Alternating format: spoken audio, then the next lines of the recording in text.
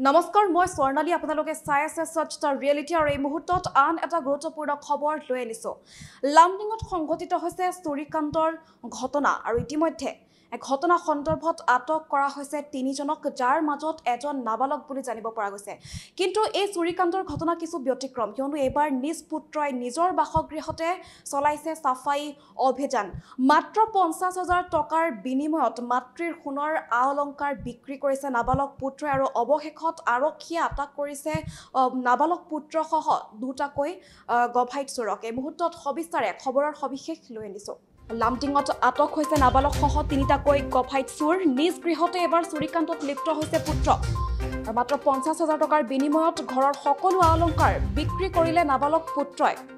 লামটিং master কলনীৰ ৰেখা দাস নামৰ এগৰাকী মহিলাৰ বাসগৃহত সংঘটিত হৈছিল চুৰিকাণ্ডৰ ঘটনা আৰু লামডিং আৰক্ষী থানাত দাখিল কৰিছিল এজাহাৰ যি এজাহাৰৰ ভিত্তিত গ্ৰেপ্তাৰ কৰা হৈছে চোৰকেইটাক। আৰু আটকাধীন চোৰকেইটা ক্ৰমে মানিক দে বাপ্পা মজুমদাৰ আৰু ঘৰখনৰে নাবালক পুত্ৰ।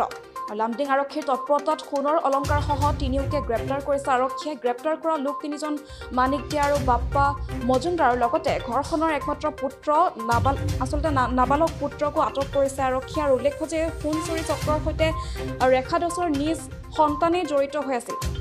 যাৰ বাবে এই চুৰিকাণ্ডটোক ব্যতিক্ৰম বুলি ক'ব লাগিব। ৰেখা দাসৰ নিজ নাবালক পুত্ৰই ঘৰৰ সকলোবিলাক আ অলংকাৰ মাত্ৰ পঞ্চাছ হাজাৰ টকাৰ বিনিময়ত বিক্ৰী কৰিছিল বুলি এতিয়া তথ্যবোৰ পোহৰলৈ আহিছে। আৰু বৰ্তমান লামডিং আৰক্ষীয়ে গ্ৰেপ্তাৰ কৰা তিনিজনক চোৰক তিনিজন চোৰক শংকৰদেৱ নগৰৰ আদালতলৈ প্ৰেৰণ কৰা হৈছে। এই মুহূৰ্তত আমি দৃশ্যাংশ দেখুৱাবলৈ চেষ্টা কৰিছোঁ। লামডিঙত আটক কৰা হৈছে তিনিটাকৈ গভাইত চোৰ যাৰ মাজত এজন আছিল নাবালক। আৰু নিজ গৃহতে চুৰিকাণ্ডত লিপ্ত হৈছে নাবালক পুত্ৰ মাত্ৰ পঞ্চাছ হাজাৰ টকাৰ বিনিময়ত ঘৰৰ সকলো অলংকাৰ বিক্ৰী কৰিছে নাবালক পুত্ৰই। আৰু অৱশেষত আৰক্ষীৰ জালত পৰিছে তিনিওজন চোৰ আৰু লামটিং মাষ্টাৰ কলনীৰ ৰেখা দাস নামৰ মহিলাগৰাকীৰ বাসগৃহত সংঘটিত হৈছিল চুৰিকাণ্ডৰ ঘটনা।